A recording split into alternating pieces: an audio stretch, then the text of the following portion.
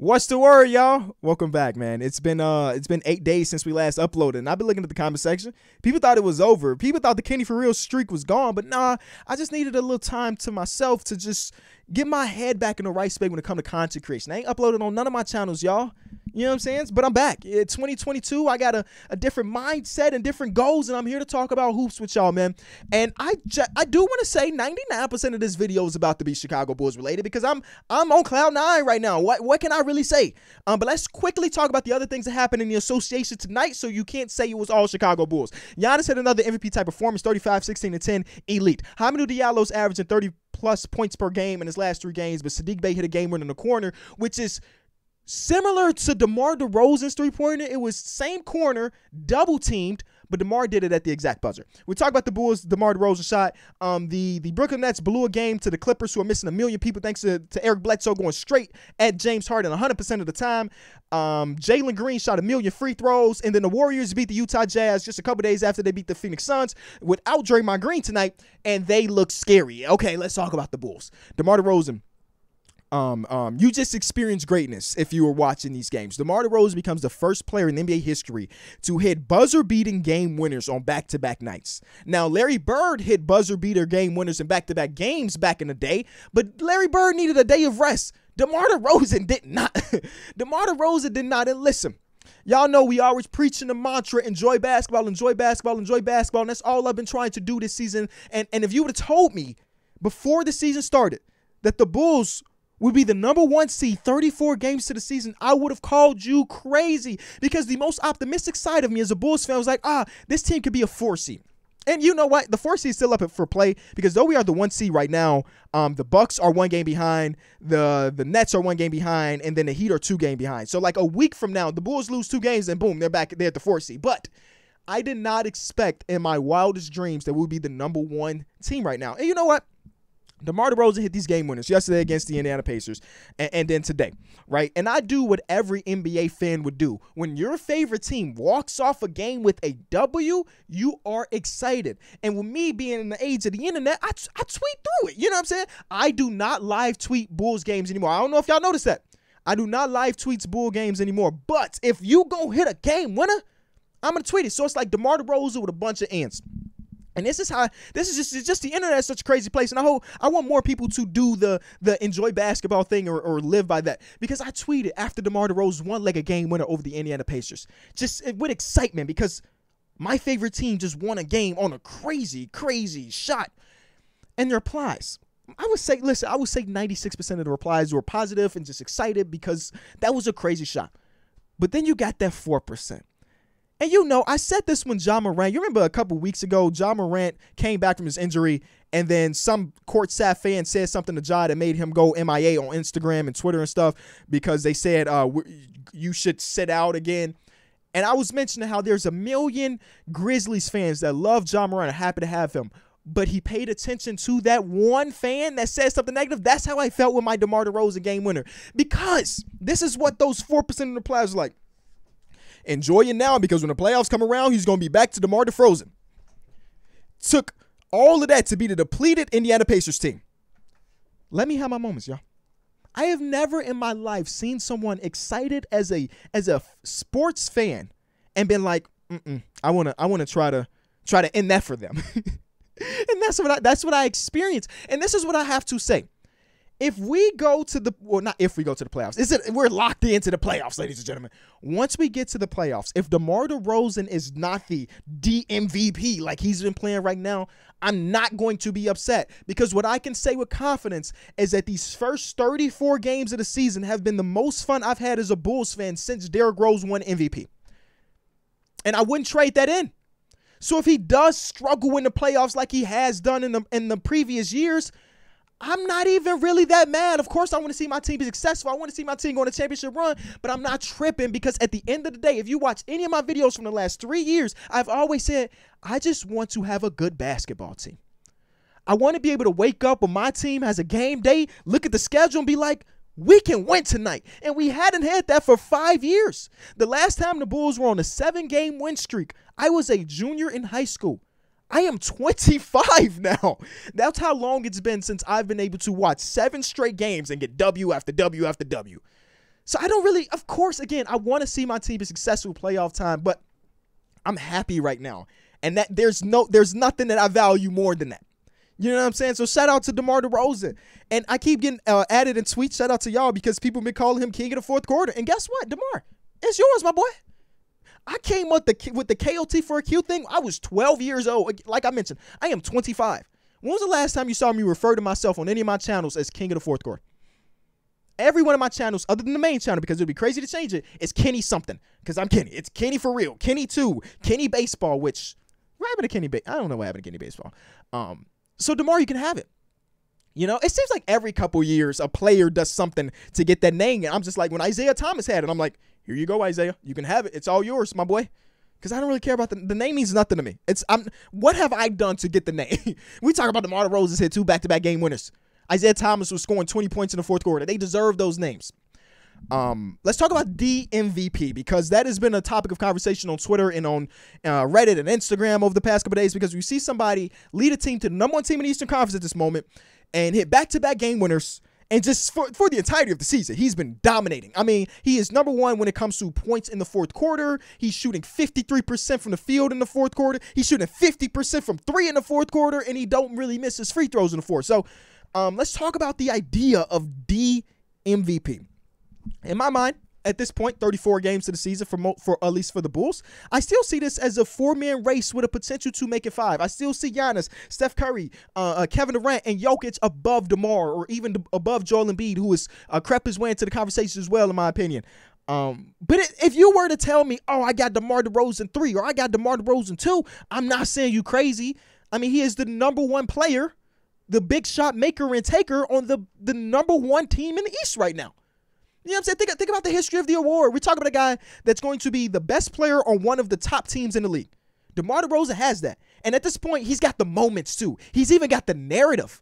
Go bring up the Bleacher Report article. Worst offseason signing of 2021, DeMar DeRozan. That is the narrative.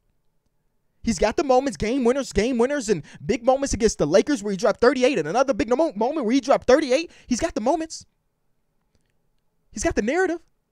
He's got the team success at this moment. He's see. I, think I don't know if I've mentioned this before, but when it comes to my favorite, I'm so not used to my favorite team being relevant that I don't know if some of the stuff that I see is bias. Right? I just don't know. So you tell me in the comment section where do you see DeMar DeRozan in the MVP ranking? Because I low key just talked myself into putting bro into the top whatever. He's got the counting stats and the great statistics. He's got the moments. He's got the narrative, and he's got the number one team in the conference at this moment. What else can you? Now, I did see some people on Twitter um, say that, hey, though it's great, um, um, the fact that he's playing with Zach LaVine, who is equally as good, may deter it from um, him from being in the real conversation, which makes sense.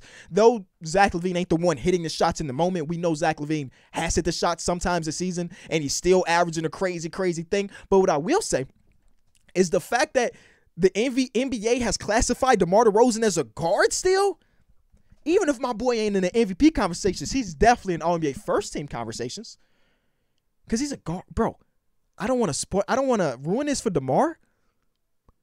But NBA, he's not really playing guard this season. he's not really playing guard this season. I'm just being honest with you. But hey, we'll take it. we'll take it.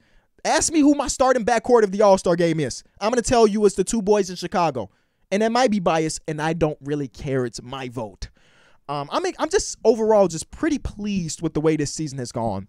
Um, and, and today and even yesterday, those are two games where we should not have won. We got outplayed by the Washington Wizards today. Bradley Beal at point guard was dicing us up. They were getting to the basket at will. Kyle Kuzma was hitting his shots. Daniel Gafford was killing us. We gave up like 74 points in the paint. 74 points in the paint. But we won the game. And a lot of that, again, DeMar DeRozan hitting that big shot, but Zach LaVine had a couple great possessions down the stretch. Um, Coby White is playing some of his best basketball this season. Another 20-point game. I think that's three in a row for Coby White. Um, uh, Vucevic hit a big-time shot down the stretch. Ayo Dosunmu, even though he almost fouled out, he took the responsibility of trying to guard DeMar, um, um, Bradley Beal. It, you know? And until like the last couple minutes of the game, we only had four people score. And that was Kobe, that was Zach, that was Vooch, and that was DeMar. We are heavily depleted right now, just like every other team. That's, I'm not saying we're different. Honestly, I would say that the, the, the Bulls heavily lucked out. Um, because because before 90% of the league was in health and safety protocol, the Bulls were the, the Bulls were were patient zero. They were they were the first people to get ravished by health and safety protocol. And the NBA was like, we're gonna postpone three of their games. Now, again, I'm saying they lucked out because we had teams out there like the Atlanta Hawks who have who have had to play through that stuff. And what have they done? They've lost like two of the three games they had to play through with all these health safety protocols. So the Bulls have lucked out. Because when DeMar, I mean, not when DeMar, when Zach was out and, and Caruso was out and this player was out and this player, out, I, I'm being honest with you. Those games that got postponed were probably going to be losses. And because of that, we probably wouldn't be, not probably, we wouldn't be the number one team in the conference right now. So the Bulls heavily lucked out. And I would be delusional to say otherwise. But I'm happy we did. I'm definitely happy we did because right now I'm taking a screenshot of these standings and I don't care what happened for the rest of the season. I was here for this moment. I was here for this moment. You know, um, and and I guess the next conversation when it comes to the Chicago Bulls or whether or not they're legitimate contenders, um, and and in my mind, and I know this varies for a lot of people. When I think about a contender, I'm thinking about a team that if they won the championship this season, I would not be surprised. So if the Warriors win a championship this season, I wouldn't be surprised. They're a contender. If the Suns win a championship this season, I would not be surprised. The Bucks win a championship, the Nets win a championship. If if the Heat even won a championship, I would not be surprised. I don't have the Bulls there just yet. Again, as fun as it has been, and I am still on cloud nine, I'm not saying it's impossible for them to do it, but I still, even though they're the number one team in the conference, I still don't see them as the top, top of the top when it comes to teams in the NBA. And again, that could be my me trying to defer my biases because I don't know, man. Y'all know we just be rambling around here. I just I don't know. I, f- I feel like if we were to go against the Bucks in a seven game series, we don't have an answer for Giannis. I feel like we I know we have beat the Nets twice this season. I know, and it's been great. But a seven game series is a little bit different than that random regular season game in, in December, December 3rd. If that was the right day, that's fire, but I don't think it was. You know? I would still be happy. You know what I'm saying? If we got to if we could I see us as a conference finals team? Hell yeah. But like I think this team has some pretty big issues, and that a lot of that is dealing with the power forward position. I love me some Javonte Green. I love that Derrick Jones Jr. stepped in as a guy that can play some four and some five. It's great, but when we get down to the nitty gritty of the playoffs, we need more impact there. And that's why I don't envy the guys in the front office because they have some really tough decisions to make this this um this trade deadline. Because we got pieces. We got younger pieces that a selling team or a team that that has a piece that we would want would be interested in. And our front office has to figure out is it worth trading for Patrick uh, trading away Patrick Williams? Is it worth trading away Coby White as he started to look very, very good since he's been a starter since Lonzo's been out? Those are the conversations that I know that they're having internally in the front office. And I, I'm so happy I don't have to have those conversations because I don't really know. Because you got to think about it like this DeMar DeRozan, as great as he's been, again, he, he the MVP in the conversations. Next year, when Patrick Williams is back, do you think that we're getting this type of productivity from DeMar DeRozan? Or the year after that, when Patrick Williams might be even better? Or the year after, you know what I'm saying? This might be the best version of DeMar DeRozan we ever see again. So I'm sure there's a side of, of the people that are talking. It's like we gotta go for it. We gotta go. And it's probably another side. Like I don't know that Patrick Patrick Williams has a ton of untapped potential. A ton of untapped potential. I know there are teams out there that like, hey, we will take Patrick Williams and let that boy be the, the our future. And what I will say before any decision is made, I stand by the front office until they show me otherwise because every single move that they've done so far has been a success. Now you got some that maybe not be as successful. Um, we traded Daniel Gafford and and and got back Troy Brown Jr. But part of that was because we didn't want to pay Daniel Gafford. He ended up getting a contract. Shout out to shout out to the homie. And shout out to uh, Troy Brown Jr. That's the homie too. Both of them are the homies. Um, but every other move that we've had has been an absolute W. So until they show me that they got a miss in them. Whatever they do with this deadline, if they trade P. Willie, listen, I can still be a fan of you, Pat, if you in Detroit or you in some other place. I'm gonna back my front office, man. I'm gonna back my front office.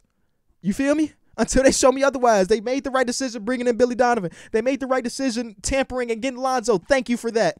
they made the right decision giving Alex Caruso whatever money he got paid. The the Vucevic trade, even though Vucevic hasn't been the the all star that he was last year, even the year before that, he's been very good by the way, especially recent, recently when it comes to his defense. Um, that trade is a W. Because you watch any interview with DeMar DeRozan since he signed with the Bulls, they ask him why, and he won't say the money because obviously the money played a big part. We paid him. But the second part was, hey, Vucevic gave me a call. If Vucevic is in Orlando, there's no call.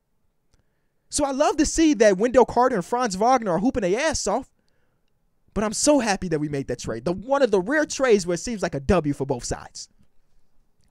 So they gotta they gotta show me when they catch an L. Listen, We'll evaluate everything else after that. But right now, I'm just super excited. Um, the Bulls have played, I think, five games in eight nights, and they've won all five. Again, this is not a game we deserve to win. There were a few um, interesting foul calls, I will say. Shout out to Deni Avdija, Kenny for All Star. He's playing some great defense today. He got, he may have got a phantom call or two down the stretch. I'm listen. I, I love my Bulls, but I'm gonna tell you how it is. He may have got a, we may have got a couple calls down the stretch but regardless, I am so excited. I don't even know what's next on the docket. Who do we got next? Um, we got the Orlando Magic. Okay, that's Jan th- 3. And then we got Washington coming up again. And hopefully by that time, both teams will be relatively healthy because they were missing some players too. Spencer Dinwiddie is out. I don't, at this point of the NBA season, I don't know who's out with health and safety protocol, who's out with an actual injury. I know they're missing Spencer Dinwiddie, no Montrezl Harrell. They were missing a lot of players. Uh, Tremont Waters was getting minutes today. Um, so we play again Jan 7th. We'll see how that goes.